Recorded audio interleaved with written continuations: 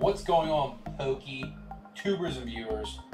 Today we are talking about the Evolving Skies booster box. Evolving Skies was so good that basically everybody said Fusion Strike sucked, which is crazy how good and how many popular Pokemon are Fusion Strike that that says volumes for the Evolving Skies. So if you guys are not familiar, haven't been paying attention, Evolving Skies booster boxes got all the way up to basically $200 in a similar pattern that Vivid did back when the, the Vivid demand was so huge and we did get that Vivid reprint which brought the boxes down closer to 120 some instances I saw 110 100 very rare though. And we're starting to see those evolving skies reprints be sold when stores put them up. And I can tell you right now any link that I see come up for 120 is gone just like that. Absolutely just being eaten if you look across the chart here, you can see that right now the market price is about 152 with a little dip to 140. I think if you can find anything sub 140, definitely jump on it if you have not got this set. Now you may be thinking, why should I still pay 140 for a box, 135? is the cheapest way to get packs. They basically printed Shining Fates into oblivion, and that the fact that there's still ETBs at the store every single day every week I'm seeing them, and you're like, all right, why should I buy Evolving Skies when that's the same thing that they could do that they did to Shining Fates or even some of the celebration stuff.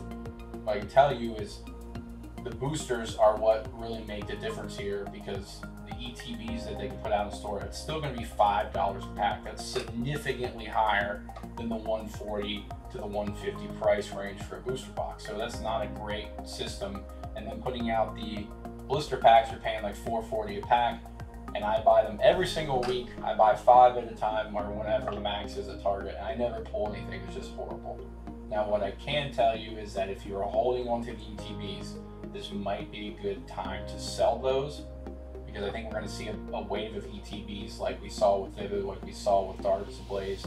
Those are going to come out again. If you missed out on them and want to get them, definitely jump on them when they come back in the store. I just wanted to highlight the card prices of the two big hits here. Rayquaza VMAX still holding over $200 and the Umbreon VMAX holding over 300. This is incredible for a modern set with two cards holding this strong. This set is just absolutely insane for value with all the all arts. So many cards over $50. You just don't see that in a lot of modern sets. And like I mentioned with ETBs, you can see $65 and $70. Pretty wild pricing there. If you're holding on those, I would turn them into boxes as quick as you can. I think once this reprint kind of dries up, even with the retail side with ETBs and blister packs, it's not going to make it. When we saw Evolving Skies kind of disappear and all we got in our faces with Fusion Strike and Chilling Reign for months, really, really drove this demand for the set because that's all we could get. Battle Styles, Fusion Strike, and Battle Styles, Fusion Strike, and Chilling Reign. And I, I was like, Fusion Strike is great, but why is there so much more available? And that just tells you how much demand there was for Evolving Skies. I had not had more fun opening a set probably since like I was getting Hidden Fates 10s each week.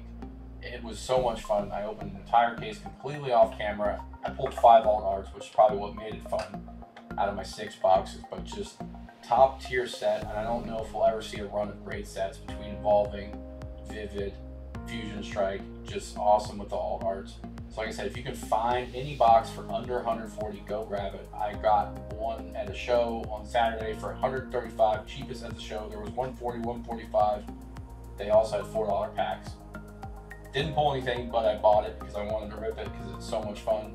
So be on the lookout for the links. We do share in Discord. Look for those store emails. If you're looking for a case, I think it is the time to get a case because the retail reprint will not bring those boosters down anywhere close to 100 like a lot of people are hoping.